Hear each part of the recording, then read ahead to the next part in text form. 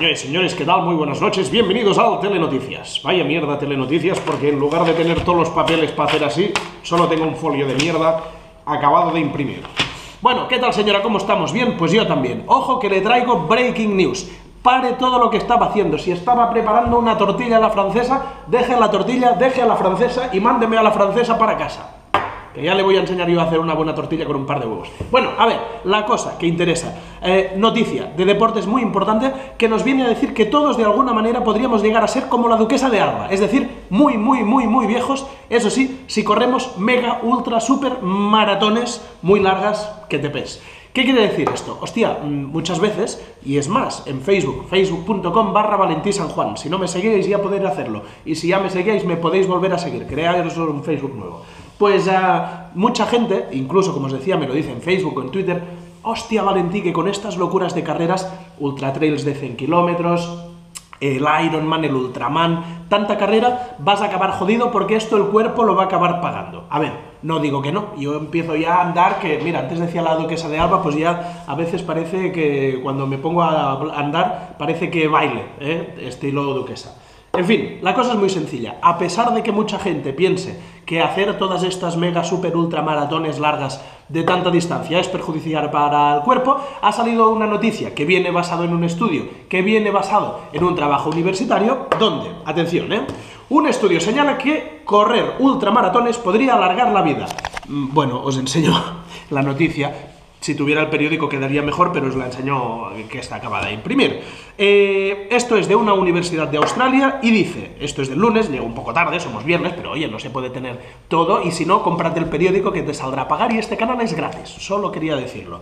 Eh, eh, en Australia han publicado los resultados de este estudio por el cual parece que la edad biológica de los corredores de ultra es mucho menor que la habitual. Quiere decir que la edad biológica, que no siempre es la que marca nuestro DNI, pues es mucho menor cuando se corren estas distancias. Atención que os leo el párrafo, ¿eh? Ojo, a ver si se lee.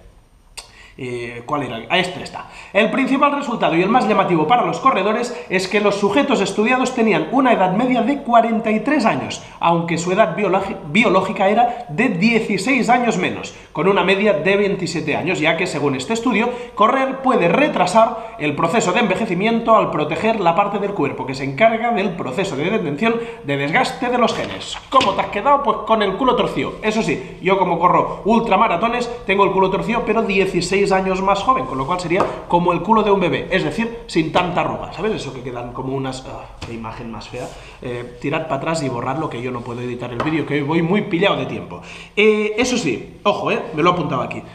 Para hacer eso habría que correr entre 40 y 100 kilómetros semanales. O sea, no quiere decir, ah, no, yo es que una vez corrí una carrera de 70 kilómetros. ¡No! No, aquí cuenta básicamente el entreno y las horas y los kilómetros que dediques a entrenar eso durante cada semana y con regularidad. Dicho lo cual, ¿estoy haciendo una apología de la larga distancia?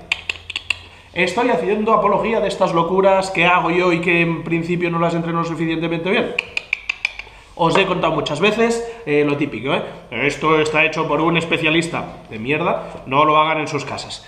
Eh, si queréis hacer cosas de estas, creo que lo mejor que podéis hacer es poneros en contacto con un club, poneros en contacto con un entrenador. Si al final las queréis hacer, coño, hostia, tampoco hace falta pedir permiso a nadie, hacer lo que queráis si sois mayores de edad.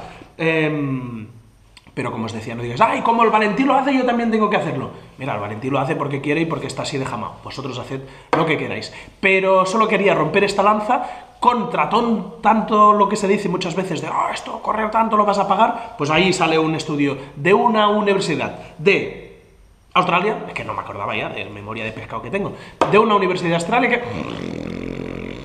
Lo que no dice es si dormir durante los vídeos te alarga la vida. Espero que... hee hee.